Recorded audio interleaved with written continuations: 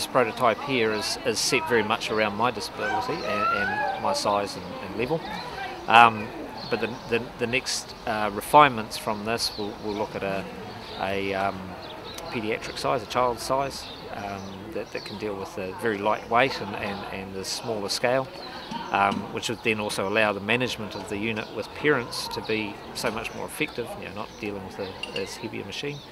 Um, and also, as, as we put in, know, we just trialled the other day um, a tetraplegic in it, and she did amazingly well.